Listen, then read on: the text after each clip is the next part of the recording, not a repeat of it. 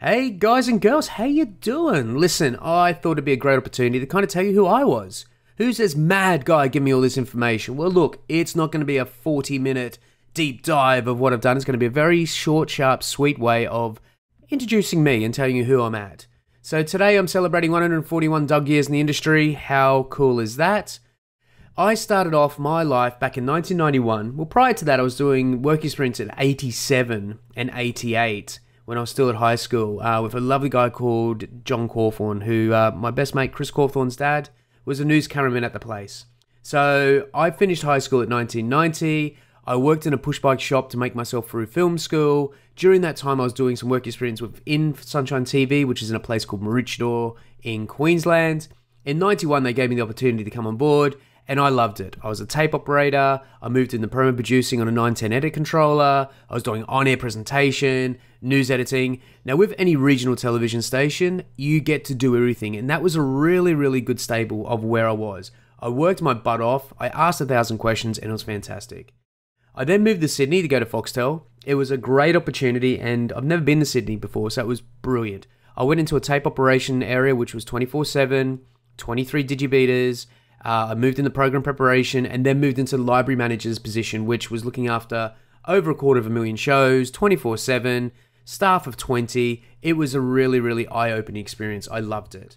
Frame Set Match. Oh my god. Now, Frame Set Match isn't around anymore, which is a real shame. It was the most amazing boutique post production company in Sydney. They were doing amazing TVCs. They were doing telecinning, they had Flame, Edit Box, Avids, they were the Ducks nuts. These guys knew how to do it. Steve has now started up Vandal, which is in Sydney as of uh, 2019. Well, he's done it before, but I'm just saying this video is 2019. And it was the most amazing way to cut my teeth in the correct professional way. These guys showed you to stop doing it the wrong way and doing it the right way. I then moved over to the Lab Sydney. The Lab Sydney was a bigger, bigger beast. I thought it was a right move. Looking back now, it was a wrong move. I should have stuck with Frameset Match. But what the lab showed me was all about DVDs, all about VCDs, all about this new media stuff that was coming through. Back in the day, DVDs was a big thing, and a lot of people wanted these done. So I had the opportunity to moving over there. It was great. I got to build a team. I built some amazing people around me, and a lot of those people are now huge in the industry as well. So I'm really stoked about that advertising advantage. My God, Wally and Luke, these guys put everything on the line. They went from agencies themselves and said there's got to be a better way. And this is what I love about these two. They went in and said for 15 grand, we can get mum and pop to advertise on TV, which back in the day was unheard of. So I had the unbelievable opportunity to go and film, edit, produce, literally everything, making coffees. It was the most amazing experience I've had in my life. They're still going strong today, as they should be. Luke and Wally, absolute credit to these guys. So from the start, broadcast, broadcast, post production, post production, then even directing and editing. So at this stage, I'd kind of really humbled my approach on how the whole process worked. Then one day I got a phone call. Come to AdStream. Now, AdStream's goal was to send commercials around the world. So at this process, up to my point in my career, I'd actually known how they got played out. I knew how they were made, and now I was delivering them to the broadcasters. So I started off as ingest manager out in Sydney, Australia. Then um, I went to broadcast managers. Now I moved to England in about 2004, so I was only in Sydney for a very short period of time for AdStream. I think employee number seven or something. Then moved over to UK, and I was employee, God knows, very very early employee. It got to around about 500 people at some stage. Um, they had 40 offices. It was an amazing experience. While I was at AdStream, I actually started up delivercommercials.com as a kind of an open source thing to kind of allow people to get all the information out because every single day I'd be fielding questions. I thought it'd be a really cool way. I then started up a division within AdStream called AdPro. AdPro's goal was to help fix the commercials. We got to six edit suites, we had 12 Teranexes, we opened an office in Miami, it got a real lot of steam up, and um, I can't really tell to talk too much about it because of privacy issues. But it was a great situation. I went to the bosses of Ad, AdStream and said, "Listen, we need this." They had the uh, uh, the power and the the kind of the confidence in me to do it, and it was brilliant. So I was at that company for a very long time, and it was good. But you know, after ten years, as you've seen previously, I've been short, sharp, sweet. I kind of got a bit long in the tooth.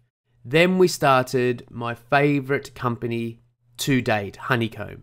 Now, Honeycomb was kind of similar to AdStream, it was delivering commercials, but our goal was to make the whole commercial delivery more addressable, more programmatic, more open. So we really wanted to kick the doors in and do it. And we did. We took a huge chunk of the UK market in a short period of time. We had the absolute opportunity of working with um, Sky and loads of others. So my goal there was to build the broadcast stack. And what's that mean? Well, that goal was to go and build the most robust, fastest, kick ass um, ingest, QC, and delivery stack that I could possibly do. I had the pleasure of working with some amazing people, absolutely the most amazing people in the world.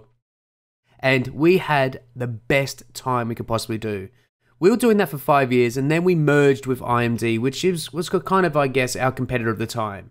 So we took all of our company, we merged, and we became a company called Peach. And that's where I'm at right now. So Peach is um, a kind of a mashy collaboration of what Honeycomb is trying to do and IMD. IMD has global reach. It has um, all the broadcasters connected. Um, Honeycomb had all the programmatic and digital ways of moving forward. So the two companies made sense. And what I'm doing now is called the Director of Advanced TV. So I get to do all the cool stuff of going to the broadcasters, finding out how we can make things better, and kind of really nutting it down for the future. And this is a really exciting time for me.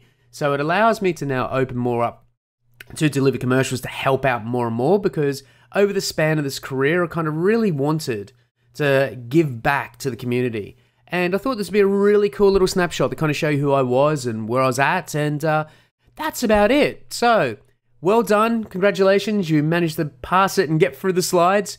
Uh, just want to say a big hello and looking forward to really giving you a a humble approach on what the post production broadcast industry has. I've got around about 25 episodes in the shoot ready to come out, and I'm really looking forward to this adventure. So, as always, guys, have a great day.